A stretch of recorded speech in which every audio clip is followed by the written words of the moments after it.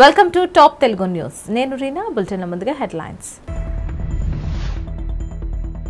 సాధారణ మహిళగా కనిపించే అసాధారణ మహిళ మా అమ్మ. బ్లాగులో అమ్మకు జేజేలు పలికిన ప్రధాని మోదీ. ఆహా తెలుగు ఇండియన్ ఐడియల్ విజేతగా వాగ్దేవి. టీఆర్ఎస్కు షాక్ కాంగ్రెస్లోకి పీజేఆర్ కూతురు విజయారెడ్డి. రోడ్డు ప్రమాద బాధితులను దగ్గరుండి ఆసుపత్రికి తరలించిన చంద్రబాబు. రైల్వే స్టేషన్ ఆందోళనకారులపై కఠినమైన సెక్షన్ల కింద కేసులు. నేరం రుజువైతే మరణశిక్ష కూడా పడొచ్చు. ఇంకా డీటెయిల్స్లోకి వెళితే ప్రధాని మోదీ తన అమ్మ హీరాబెన్ మోదీ శతవత్సర పుట్టినరోజు వేడుకల సందర్భంగా తన మనసులోని భావాలను ఆవిష్కరించారు. అమ్మ గురించి తన మనసులోని మాటలను బయటపెట్టారు. తన కోసం ఆమె ఎంత చేసింది తన వ్యక్తిత్వంపై ఆమె ప్రభావాన్ని బ్లాగులో వివరించారు. మా అమ్మ అన్నది ఒక పదం కాదు ఎన్నో భావోద్వేగాల సంగ్రహం. నేడు జూన్ పద్దెనిమిదిన అమ్మ హీరాబా వందవ సంవత్సరంలోకి అడుగుపెట్టింది. ఆనందంతో కృతజ్ఞతా భావాన్ని వ్యక్తం చేస్తూ కొన్ని నా ఆలోచనలను రాస్తున్నాను అని ప్రధాని మోదీ పేర్కొన్నారు. తన అమ్మ సాధారణంగానే కనిపించిన ఒక అసాధారణ మహిళగా పేర్కొన్నారు. చాలా చిన్న వయసులోనే మా అమ్మ తన అమ్మను కోల్పోయింది. జీవితంలో ఎన్నో కష్టాలను ఎదుర్కొన్నది. అయినా మరింత బలంగా నిలబడింది అని చెప్పారు. తాను ఎదుగుతున్న కొద్దీ అమ్మ తన కోసం ఎన్నో త్యాగాలు చేసినట్లు తెలిపారు. తన వ్యక్తిత్వం ఆత్మవిశ్వాసం మనసున్న అమ్మ ఎంతో ప్రభావితం చేసినట్లు చెప్పారు. గుజరాత్లోని వద్నగర్లో మట్టి గోడలతో కూడిన పెంకుటిల్లులో తన తల్లిదండ్రులు సోదరులతో కలిసి ఉన్న నాటి జ్ఞాపకాలను ప్రధాని గుర్తు చేసుకున్నారు. అమ్మ ఇంట్లో అన్ని పనులు తానే ఒక్కతే చేయడమే కాకుండా ఇంటి పోషణ కోసం కూడా తన వంతు కష్టపడేదని ప్రధాని వివరించారు. కొందరి ఇళ్ళల్లో వంట పాత్రలు కడిగేదని చరకా తిప్పడం ద్వారా వచ్చే ఆదాయంతో కుటుంబ ఖర్చులకు మద్దతుగా నిలిచేదన్నారు. తెలుగు ఓటీటీ సంస్థ ఆహా నిర్వహించిన తెలుగు ఇండియన్ ఐడల్ తొలి సీజన్లో యువ గాయని బీవేకే వాగ్దేవి విజేతగా నిలిచింది. శుక్రవారం జరిగిన ఫైనల్లో ఆమె తన గాత్రంతో న్యాయ నిర్ణేతలను మెప్పించి టైటిల్ గెలుచుకుంది. ఫైనల్ ఎపిసోడ్కు ముఖ్య అతిథిగా హాజరైన మెగాస్టార్ చిరంజీవి చేతుల మీదుగా తెలుగు ఇండియన్ ఐడల్ ట్రోఫీతో పాటు పది లక్షల నగదు బహుమతి కూడా అందుకుంది. వీటితో పాటు గీతా ఆర్ట్ సంస్థ నిర్మాణంలో రాబోయే ఓ సినిమాలో పాట పాడే అవకాశం కూడా ఆమెను వరించింది. తుది వరకు వాగ్దేవికి గట్టి పోటీనిచ్చిన శ్రీనివాస్ మొదటి రన్నరప్గా నిలవగా వైష్ణవి రెండో రన్నరప్గా నిలిచింది. చిరంజీవి చేతుల మీదుగా శ్రీనివాస్ మూడు లక్షల నగదు వైష్ణవి రెండు లక్షల నగదు అందుకున్నారు. చిరంజీవి తన గాడ్ ఫాదర్లో వైష్ణవికి పాట పాడే అవకాశం ఇస్తున్నట్లు ప్రకటించారు. అదే సమయంలో ప్రముఖ సింగర్ కార్తీక్ తాను సంగీతం అందించే తదుపరి చిత్రంలో వాగ్దేవికి అవకాశం ఇస్తానని హామీ ఇచ్చారు. తెలంగాణలో అధికార తెలంగాణ రాష్ట్ర సమితికి మాజీ మంత్రి పి. జనార్దన్ రెడ్డి కూతురు పి. విజయారెడ్డి షాక్ ఇచ్చారు. ఖైరతాబాద్ డివిజన్ నుంచి టీఆర్ఎస్ కార్పొరేటర్గా ఎన్నికైన విజయారెడ్డి ఆ పార్టీని వీడాలని నిర్ణయించుకున్నారు. ఆమె తిరిగి కాంగ్రెస్ గూటికి చేరబోతున్నారు. ఈ విషయాన్ని విజయారెడ్డి స్వయంగా వెల్లడించారు. టీపీసీసీ అధ్యక్షుడు రేవంత్ రెడ్డితో సమావేశమైన అనంతరం ఆమె తన నిర్ణయాన్ని ప్రకటించారు. మంచి భవిష్యత్తు కోసం కాంగ్రెస్ పార్టీలో చేరుతున్నారని తెలిపారు. విజేఆర్ వారసత్వం కొనసాగించేందుకే ఈ నిర్ణయం తీసుకున్నానని చెప్పారు. ఈ నెల ఇరవై మూడవ తేదీన కాంగ్రెస్లో చేరుతానని తెలిపారు. తనకిప్పుడు ఇంటి పార్టీలోకి వస్తున్నాననే భావన ఉందని అన్నారు. బీజేఆర్ వారసురాలిగా రాజకీయాల్లోకి వచ్చిన విజయారెడ్డి తర్వాత టీఆర్ఎస్లో చేరారు. రెండుసార్లు కార్పొరేటర్గా గెలిచారు. ఈ క్రమంలో జీహెచ్ఎంసీ మేయర్ పదవిని ఆశించిన ఆమెకు ఆ అవకాశం రాలేదు. టీఆర్ఎస్లో తనకు తగిన ప్రాధాన్యత లభించడం లేదని విజయారెడ్డి చాన్నాళ్ళ నుంచి అసంతృప్తిగా ఉన్నట్లు వార్తలు వచ్చాయి. విజయనగరం జిల్లా చీపురుపల్లి మండలం పుర్రయ్య వలస జంక్షన్ వద్ద రోడ్డు ప్రమాదంలో గాయపడిన ఇద్దరు వ్యక్తులను టీడీపీ అధినేత చంద్రబాబు దగ్గరుండి ఆసుపత్రికి తరలించారు. నిన్న రాత్రి ఈ సన్నివేశం చోటు చేసుకుంది. రాత్రి చీపురుపల్లిలో రోడ్డు షో ముగించుకొని వస్తున్న చంద్రబాబు గాయపడిన వారిని చూసి తన వాహనం దిగి క్షతగాత్రులకు సహాయ చర్యలు చేపట్టారు. తన కాన్వాయ్లో ఉన్న అంబులెన్స్లో విజయనగరానికి తరలించారు. ప్రమాదం వివరాల్లోకి వెళితే ఇద్దరు వ్యక్తులు మోటార్ సైకిల్ పై వెళుతూ ముందున్న రిక్షాను ఢీకొట్టారు. ఈ ఘటనలో ఇద్దరు వ్యక్తులకు తీవ్ర గాయాలయ్యాయి. అక్కడున్న వారు వన్ నాట్ ఎయిట్కి ఫోన్ చేసినప్పటికీ అంబులెన్స్ రావడం ఆలస్యమైంది. ఇదే సమయంలో ఆ మార్గంలో విశాఖ ఎయిర్పోర్ట్కు వెళుతున్న చంద్రబాబు క్యాన్వాయ్ నుంచి కిందకు దిగి క్షతగాత్రులను తన క్యాన్వాయ్లో ఉన్న అంబులెన్స్ ద్వారా విజయనగరానికి తరలించారు. అగ్నిపథ్ పథకాన్ని నిరసిస్తూ సికింద్రాబాద్ రైల్వే స్టేషన్లో నిన్న పెద్ద సంఖ్యలో యువకులు ఆందోళన చేపట్టిన సంగతి తెలిసిందే. ఈ సందర్భంగా పరిస్థితులు పూర్తిగా అదుపు తప్పాయి. ఆందోళనకారులు రైళ్ళకు నిప్పు పెట్టారు. రైల్వే స్టేషన్ విధ్వంసానికి పాల్పడ్డారు. ఈ నేపథ్యంలో విధ్వంసానికి పాల్పడిన వారిపై జీఆర్పీ పలు సెక్షన్ల కింద కేసులు నమోదు చేసింది. ఈ కేసుల్లో చిక్కుకున్న వారు సైన్యంలో పనిచేసేందుకు అనర్హులవుతారు. అంతేకాదు ఇతర ప్రభుత్వ ఉద్యోగాల్లో చేరేందుకు కూడా ఇబ్బందులు ఎదురవుతాయి. రైల్వే ఆస్తులను ధ్వంసం చేసినందుకు వీరిపై భారతీయ రైల్వే చట్టం ఐఆర్ఏలోని పద్నాలుగు సెక్షన్లు ఐపీసీ కింద కేసులు నమోదు చేశారు. రైల్వే సెక్షన్లు అత్యంత కఠినంగా ఉంటాయి. వీటిలో చాలా వరకు నాన్ బెయిలబుల్ సెక్షన్లే. ఐఆర్ఏ వన్ ఫిఫ్టీ రైళ్ళను ధ్వంసం చేయడం సెక్షన్ కింద నేరం రుజువైతే శిక్ష చాలా కఠినంగా ఉంటుంది. ఈ కేసులో దోషిగా తేలితే యావజ్జీవ శిక్ష లేదా మరణ శిక్షకు గురయ్యే అవకాశం కూడా ఉంది. సంగారెడ్డి జిల్లా మునిపల్లి మండలం బూదేరాలో శ్రీలక్ష్మి వెంకటేశ్వర స్వామి దేవాలయం వెంకటేశ్వర గుట్ట శనివారం శ్రావణ నక్షత్రం పురస్కరించుకొని శ్రీ స్వామి వారికి అభిషేకం మరియు పట్టు వస్త్రాలు అలాగే అన్నదానం నిర్వహించారు. శ్రీమతి శ్రీ రుద్ర గాయత్రి రుద్రకృష్ణ కూతురు కీర్తిశ్రీ కుమారుడు పూర్ణచంద్ర లోకేష్ తల్లి రుద్ర లాలితమ్మ మరియు వారి కుటుంబ సభ్యులు గోత్రం మాధవ ఋషి గ్రామం చిన్న చెల్మెడ. ఈ కార్యక్రమంలో ఎస్ఐ దశరథ్ గ్రామ పెద్దలు మరియు భక్తులు పాల్గొన్నారు.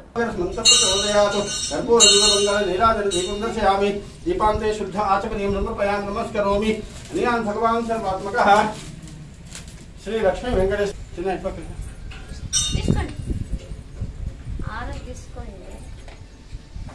తీసుకోండి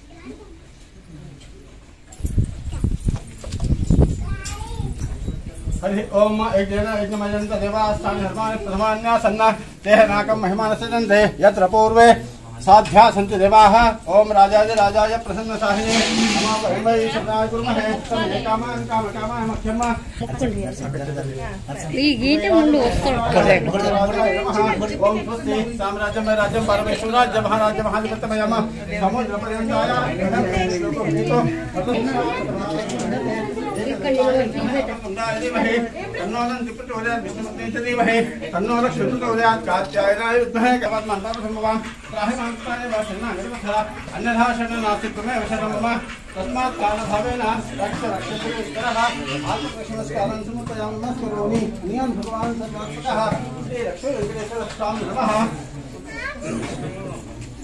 సంగారెడ్డి మునిపల్లి మండలంలో బూదేరాలో శ్రీలక్ష్మి వెంకటేశ్వర స్వామి దేవాలయం వెంకటేశ్వర గుట్ట శనివారం శ్రావణ నక్షత్రం పురస్కరించుకొని శ్రీ స్వామి వారికి అభిషేకం మరియు పట్టు వస్త్రాలు అన్నదానం నిర్వహించారు. శ్రీమతి శ్రీ రుద్ర గాయత్రి రుద్రకృష్ణ కూతురు కీర్తిశ్రీ కుమారుడు పూర్ణచంద్ర లోకేష్ తల్లి రుద్ర లాలితమ్మ మరియు వారి కుటుంబ సభ్యులు గోత్రం మాధవ ఋషి గ్రామం చిన్న చెల్మెడ ఈ కార్యక్రమంలో ఎస్ఐ దశరథ్ గ్రామ పెద్దలు మరియు భక్తులు పాల్గొన్నారు.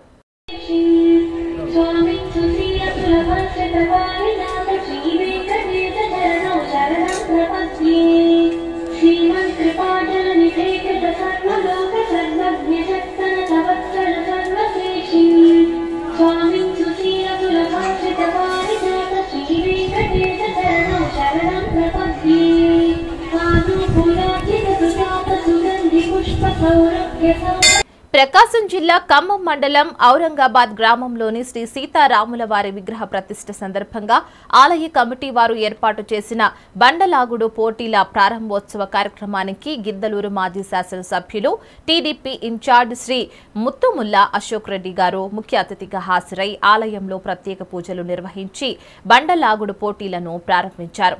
ఈ సందర్భంగా వారు మాట్లాడుతూ ఒంగోలు జాతి గిత్తల పరిరక్షణ మన అందరి బాధ్యత అని తరతరాలుగా వస్తున్న ఆచార సంప్రదాయాలను గౌరవిస్తూ భావి తరాలకు వాటిని వారసత్వంగా అందించాల్సిన బాధ్యత కూడా మనపై ఉందన్నారు. ఆలయ కమిటీ వారు గ్రామస్తులు అశోక్ రెడ్డి గారిని శాల్వాతో సన్మానించారు. ఈ కార్యక్రమంలో స్థానిక తెలుగుదేశం పార్టీ నాయకులు ఆలయ కమిటీ సభ్యులు గ్రామస్తులు తదితరులు పాల్గొన్నారు శ్రీ ముత్తుల అశోక్ రెడ్డి గారు ప్రారంభోత్సవం కోసం చప్పట్లు కొట్టారు ఒక్కసారి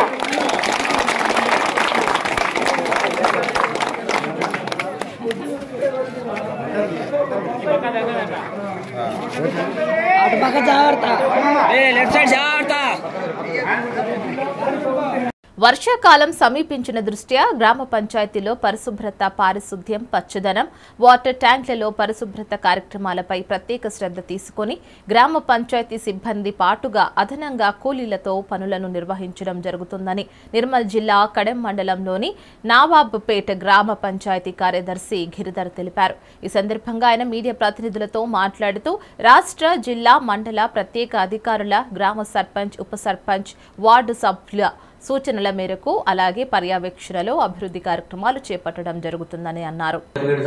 టూ థౌసండ్ స్టార్ట్ అయిందో అప్పుడు నేను ఒకటే డిసైడ్ చేసుకున్నాను. నేనే అప్పుడు ఈ హరితారం ప్రోగ్రామ్ ఏమేమి చేయదలుచుకున్నాను టూ థౌజండ్ నైన్టీన్లో ఈ రోడ్ సైడ్ బుష్ క్లియరెన్స్ చేద్దాం అనుకున్నాను. అని నేను ఫస్ట్ విలేజ్కి వచ్చినప్పుడు చార్జ్ తీసుకున్నప్పుడు అనుకున్నాను. ఇక్కడ మెయిన్ బుష్ క్లియరెన్స్ చేయించాలి మెయిన్ రోడ్ ఎందుకంటే ఇరువైపులం పిచ్చి గడి మొలవడం ఇష్ట రాజ్యాంగం ఉండడం మళ్ళీ ఎక్కడ చెత్త కుప్పలు అక్కడనే ఈవెన్ గ్రామ పంచాయతీ ముందర కూడా బర్రెలు గొర్రెలు ఇవి పడుకోవడం ఇవన్నీ ఉంటాయి అప్పుడు ఇవన్నీ పల్లె ప్రగతిలో భాగం మొదటి వాళ్ళు ప- పల్లె ప్రగతిలో వచ్చినాయి ఇవన్నీ. మాకు ఐడెంటిఫై చేయమని చెప్పారు. అప్పుడు నేను Palle Pragathi one two three ఇవన్నీ వినియోగించడం జరిగింది. అయితే పల్లె ప్రగతిలో మెయిన్ మేము ముఖ్యంగా అంటే డైలీ ఒక్కొక్క ప్రోగ్రామ్ కార్యక్రమం చేపట్టడం జరిగింది. ఒకరోజు బుష్ బుష్ క్లియరెన్స్ కావచ్చు ఇంకో రోజు పబ్లిక్ ఇన్స్టిట్యూషన్స్ క్లీనింగ్ కావచ్చు ఇంకో రోజు వైకుంఠ ధామ క్లీనింగ్స్ మళ్ళీ ఒకరోజు శానిటేషన్ మొత్తం డ్రైనేజ్లు రోడ్లు ఇవన్నీ క్లీన్ చేయడం జరిగింది. అదేవిధంగా ఇంకా అదనంగా పల్లె ప్రకృతి వనాలు డంపింగ్ యార్డులు వైకుంఠ ధామాలు ఇప్పుడు రీసెంట్గా ఈ పల్లె ప్రగతిలో క్రీడా ప్రాంగణాలు ఏర్పాటు చేయడం జరిగింది. సో ఈ క్రీడా ప్రాంగణం వల్ల కూడా పాపం చాలామంది పేద విద్యార్థులు కూడా వాళ్ళకి ఆడుకోవడానికి సరైన స్థలం లేక ఇబ్బంది పడడం జరిగింది. మాకే ఇంతకు ముందు అడిగారు. కానీ ఈ పల్లె ప్రగతిలో తెలంగాణ క్రీడా ప్రకటన అనేది చాలా అద్భుతమైన విషయం అని చెప్పాలి. ఎందుకంటే అందులో ఖోఖో కావచ్చు మన వాలీబాల్ కోర్ట్ ఇంకా క్రికెట్ ప్రాక్టీస్ నెట్ ఇవన్నీ ఏర్పాటు చేయడం జరుగుతుంది ఈ సంవత్సరం. మాకు అలైన్ డిపార్ట్మెంట్స్ అంగన్వాడీలు వాళ్ళకి ఎంతమందికి ఇంతమంది చిన్న పిల్లలకి పౌష్టికాహారం అందుతుంది. ఈవెన్ వాళ్ళకి ఈ పల్లె ప్రగతిలో సపరేట్గా రాగి మన రాగితో తయారు చేసిన లడ్డూలు అందజేయడం జరిగింది. అలాగే మన ఆశా వర్కర్లతోటి ఇంటింటికి మన డయేరియా ఈ మలేరియా వ్యాధులపై అవగాహన పెంపించ ఊరి ప్రజలకి అవగాహన కల్పించడం జరిగింది. అలాగే ఐకేపీ వాళ్ళ మహిళా సంఘాల వివో సభ్యులతోటి మొత్తం శ్రమదానం ఏర్పాటు చేసి వాళ్ళతోటి కూడా ఈ ప్లాస్టిక్ ప్లాస్టిక్ కూడా సింగిల్ యూజ్ ప్లాస్టిక్ బ్యాన్ పైన అవగాహన కల్పించడం జరిగింది. వాళ్ళు కూడా ఊరు ప్రజలకు ఎక్స్ప్లెయిన్ చేస్తున్నారు ప్రజెంట్ అయితే.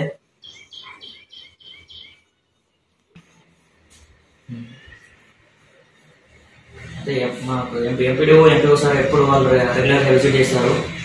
ఈ మధ్య రీసెంట్గా డిఆర్డీఓ మేడం కూడా విజిట్ చేశారు అగ్నిపథ్ పేరుతో కేంద్ర ప్రభుత్వం చేస్తున్నటువంటి విధానాలను వ్యతిరేకిస్తూ నిన్న సికింద్రాబాద్ రైల్వే స్టేషన్ వద్ద ఆందోళన చేసిన ఆర్మీ విద్యార్థులపై జరిపిన కాల్పుల్లో మృతి చెందిన వరంగల్ జిల్లా ఖానాపూర్ మండలం దబ్బీర్పేట గ్రామానికి చెందిన దామెర రాకేష్ పార్థివ దేహానికి ఈ రోజు వరంగల్ ఎంజీఎం హాస్పిటల్లో నివాళులు అర్పించిన భూపాలపల్లి శాసనసభ్యులు శ్రీ గండ్రా వెంకటరమణారెడ్డి. వరంగల్ జిల్లా ZP chairperson and Jayashankar Bhupalpally జిల్లా టీఆర్ఎస్ పార్టీ పార్టీ అధ్యక్షురాలు శ్రీమతి గణరాజ్ జ్యోతి.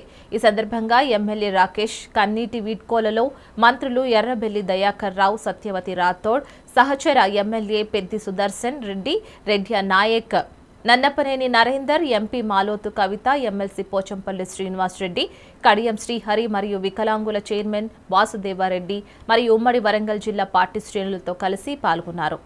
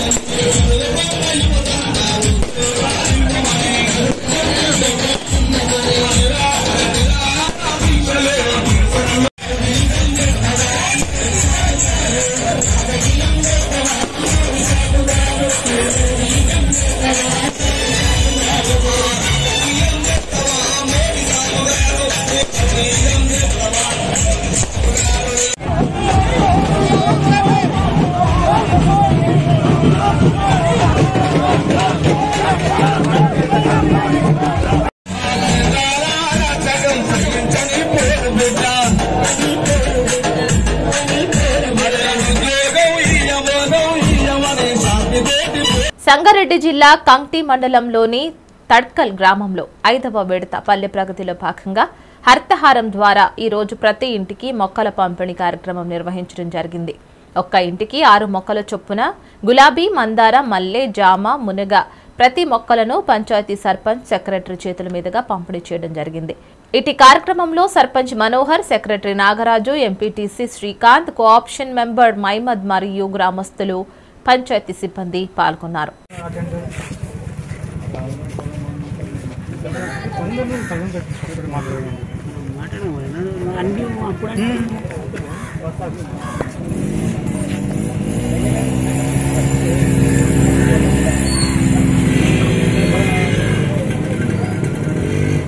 తడకల్ గ్రామ పంచాయతీ ఆధ్వర్యం లోపల ఐదో విడత పల్లె ప్రగతి కార్యక్రమంలో ఈరోజు మా గ్రామంలో హరితార అని జరుపుకుంటున్నాం ఈ కార్యక్రమానికి చేసినటువంటి పెద్దలకు అందరికీ పేరు పేరున నా హృదయపూర్వక కృతజ్ఞత అభివందనాలు. ఈరోజు హరితారం అంటే ప్రభుత్వం ఒక లక్ష్యం ఉంది. ఎందుకంటే ఈరోజు వర్షాలు కురుస్తలేవు కాలుష్యం ఎక్కువైపోయింది. అందుకే పర్యావరణాన్ని పెంచాలనే ఉద్దేశంతోనే చెట్లను పెంచడానికి ప్రభుత్వం ఒక సంకల్పం పెట్టుకుంది. అందులో భాగంగానే మా గ్రామ పంచాయతీ ఆధ్వర్యం లోపల ప్రతి ఇంటికి మూడు మొక్కలను ఇస్తున్నాం. అలా ఒక పండ్ల చెట్టు ఒక పూల చెట్టు మరియు ఇంకా ఇంకా ఇతర చెట్లు కూడా ఇవ్వడం సిద్ధం. ఈ కార్యక్రమం విజయవంతం చేయాలని తడకల్ ప్రజలకు నేను విజ్ఞప్తి చేస్తున్నాను.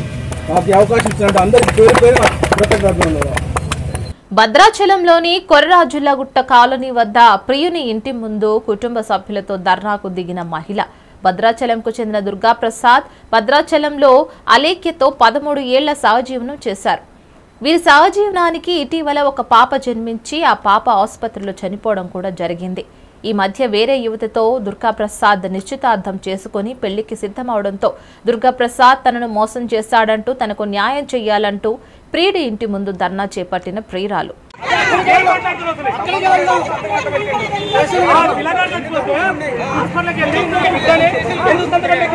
ఏ సంబంధంలో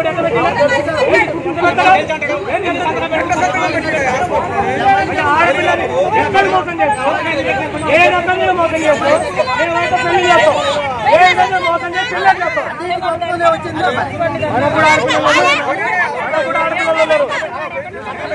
పెళ్ళి చేస్తావు మనకు కూడా ఆడపిల్లలు లేరు. మనకు కూడా ఆడపిల్లలు లేరు.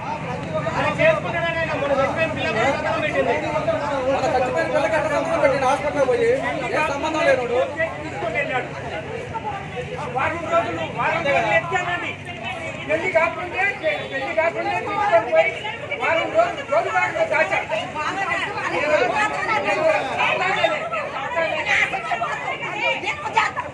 ఏది చేస్తారు నీది నువ్వు చేస్తావు ఇంటిలో విసుగు కలిగిపోతు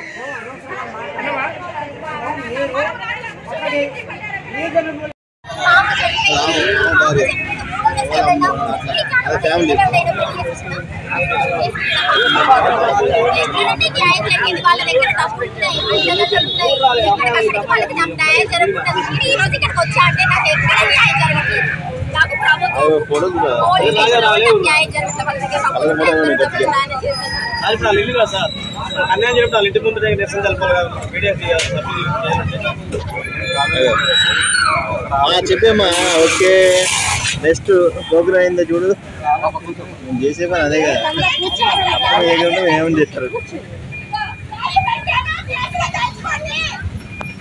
ఓకే బాధ ఉంది సార్ బాధలో పుణ్యం ఉంది. దాడి చేయడం కష్టం. నా మీరు ఉంటే ఎవరికో మరి అంటారు. అందరూ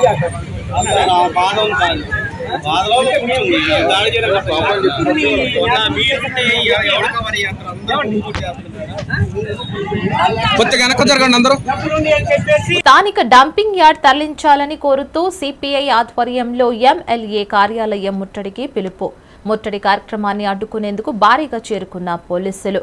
గరుడు వేగా పాల్కన్ బాష్పా వాయు ప్రయోగం చేసే వాహనాలతో ఎంఎల్ఏ కార్యాలయం ప్రాంగణంలో పహారా కాస్తున్న పోలీసులు గాంధీనగర్ సిపిఐ దాసరి భవన్ వద్దకు చేరుకున్న సిపిఐ నగర కార్యదర్శి దోనెపూడి శంకర్ పలువురు నాయకులు దాసరి భవన్ నుండి బయటకు రానివ్వకుండా ఆపివేసిన పోలీసులు. వైద్యానికి సంబంధించినటువంటి ఆరోగ్యానికి సంబంధించినటువంటి విషయం మీద మేము ఫైట్ చేస్తుంటే మన అక్రమంగా అరెస్టులు నిర్బంధాలు ఇది ఖచ్చితంగా దీని మీద భవిష్యత్తులో భారీ ఎత్తున తిరిగి మళ్ళీ ఆందోళన కార్యక్రమం ఉంటుంది. వాళ్ళ మేయర్ యొక్క నిర్లక్ష్యం కమిషనర్ నిర్లక్ష్యం మేయర్ వైఫల్యం సెంట్రల్ ఎమ్మెల్యే ప్రభుత్వ వైఫల్యం మేనిఫెస్టోలో పెట్టి మేనిఫెస్టోని అమలు చేయనటువంటి చేతకానటువంటి ఎమ్మెల్యేలు ఇవాళ ఈ రాష్ట్రాన్ని పరిపాలిస్తున్నటువంటి పరిస్థితి ఇది ముమ్మాటికి ప్రభుత్వ వైఫల్యము సెంట్రల్ ఎమ్మెల్యే వైఫల్యం తక్షణమే చట్ట డంపింగ్ యార్డ్ని తరలించాలని చెప్పి డిమాండ్ చేస్తున్నాం. లేని పక్షంలో భవిష్యత్తులో పెద్ద ఎత్తున మా పోరాటం ఆగదు. చట్ట డంపింగ్ యార్డ్ తరలించే తరలించేంత వరకు కూడా మా పోరాటం కొనసాగుతుంది. వికారాబాద్ జిల్లా పరిగి నియోజకవర్గం ఎమ్మెల్యే మహేష్ రెడ్డి ఆధ్వర్యంలో ఆర్థిక శాఖ వైద్య ఆరోగ్య శాఖ మంత్రి తన్నీరు హరీష్ రావు పరిగి మున్సిపల్ కేంద్రంలో పర్యటించి పాల కార్యక్రమాలను ప్రారంభించారు. అందులో భాగంగానే ఎమ్మెల్యే క్యాంప్ కార్యాలయం యాభై పడకల ప్రభుత్వ వైద్యశాలను సందర్శించి ఆపరేషన్ గదులను ప్రారంభించి ఎమ్మెల్యే నివాసంలో ప్రెస్ నిర్వహించారు.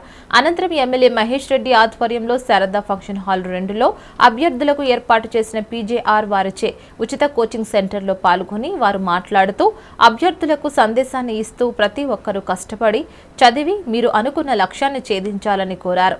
అనంతరం వారి చేతుల మీదుగా పోటీ పరీక్షలకు సన్నద్ధమయ్యే అభ్యర్థులకు బుక్స్ పంపిణీ చేశారు. ఈ కార్యక్రమంలో ఎంపీ రంజిత్ రెడ్డి జిల్లా తెరాస పార్టీ నాయకులు MLA Mothuku Anand collector Nikhila DMHO Tukaram రాష్ట్ర నాయకులు అనిల్ రెడ్డి ప్రజాప్రతినిధులు తదితరులు ఉన్నారు.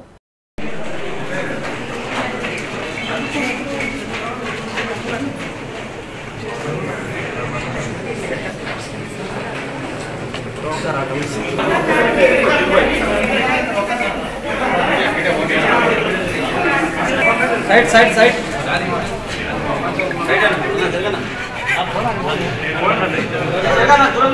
కొంచెం జరగండి. కొంచెం జరగండి.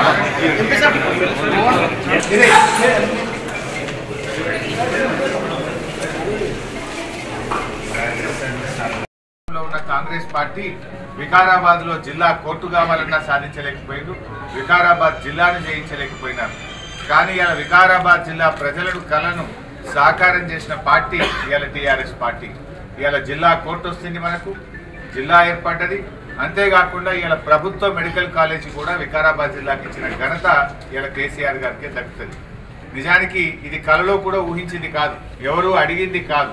కానీ ముఖ్యమంత్రి గారే ఈ ప్రాంత ప్రజలకు వైద్య సేవలు మెరుగుపడాలని చెప్పి వికారాబాద్లో ప్రభుత్వ మెడికల్ కాలేజీ పెట్టాలని నిర్ణయించారు. ఇప్పుడే మా director medical education Ramesh Reddy గారితో గౌరవ ఎమ్మెల్యే గారితో అందరితో కూడా కలెక్టర్ గారితో రివ్యూ చేయడం జరిగింది. వికారాబాద్ ప్రభుత్వ మెడికల్ కాలేజీ పనులు వెంటనే ప్రారంభించాలని చెప్పి వచ్చే విద్యా సంవత్సరం నుంచి వికారాబాద్లో మరి మెడికల్ కాలేజీ అడ్మిషన్లకు అవసరమైన అన్ని చర్యలు కూడా తీసుకోవాలని చెప్పి అధికారులను ఆదేశించడం జరిగింది. మరి మనకు మూడు వందల ముప్పై పడకల ఆసుపత్రి కావాల్సి ఉంటుంది. వికారాబాద్లో ఇప్పుడు మనకు కేవలం వంద పడకలు మాత్రమే అందుబాటులో ఉంది. మిగతా రెండు వందల ముప్పై పడకల ఆసుపత్రి నిర్మాణాన్ని యుద్ధ ప్రాతిపదికన ప్రారంభించాలని జరుగుతున్న పనులు పూర్తి చేయాలని మూడు వందల ముప్పై పడకల ఆసుపత్రిని వచ్చే విద్యా సంవత్సరం కల్లా అంటే నేషనల్ మెడికల్ కౌన్సిల్ వాళ్ళు ఇన్స్పెక్షన్కి వచ్చేసరికి ఆ మూడు వందల ముప్పై పడకల ఆసుపత్రిని అందుబాటులోకి తేవాలని చెప్పి ఆదేశం ఇచ్చాం. దానికి అనుగుణంగా ప్రొఫెసర్లు అసోసియేట్ ప్రొఫెసర్లు మిగతా డాక్టర్ల రిక్రూట్మెంట్ ప్రక్రియ మెడికల్ కాలేజీకి అవసరమైనటువంటి డాక్టర్ల నియామక ప్రక్రియను కూడా వెంటనే ప్రారంభించే విధంగా తగిన చర్యలు తీసుకోవాలని చెప్పి కూడా అధికారులను ఈరోజు ఆదేశించడం జరిగింది. నిజానికి వికారాబాద్లో మెడికల్ కాలేజీ రావడం వల్ల వైద్య విద్యతో పాటు మరి పేద ప్రజలకు మెరుగైనటువంటి వైద్యం ప్రభుత్వ రంగంలో ఇలా పేదలకు అందుబాటులోకి వస్తుంది. ముఖ్యంగా ఉమ్మడి ఇవి ఇప్పటి వరకు ఉన్న అప్డేట్స్. మరిన్ని అప్డేట్స్తో మళ్ళీ కలుద్దాం.